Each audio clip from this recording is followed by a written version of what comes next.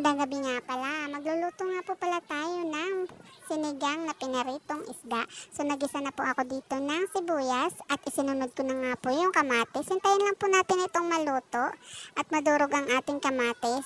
Halo-haloin lang po natin. At nag-add na rin po ako dito ng tubig para sa ating sabaw. At tinakpan ko na nga po ito at hinintay lamang pong nakumulo. At ating pong isinunod ang siling haba at ang ating kangkong. So halo-haloin lang po natin ang ating kangkong hanggang sa ito ay maluto. Pag po kumulo na yung ating kangkong, lagyan na po natin ito ng magic sarap. Timplahan po natin ng asin.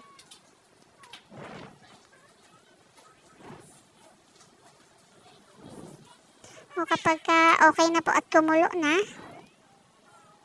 ilagay na po natin ang ating piniritong isda. Halo-haloin nga po natin hanggang sa manuot ang lasa ng isda sa ating sabaw. So, tikman po muna natin. Kapag kulang pa po yung ating panlasa, lagyan po natin ulit ng asin at magic sarap.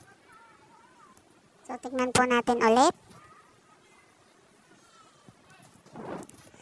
Isunod na po natin ang ating sinigang mix na original.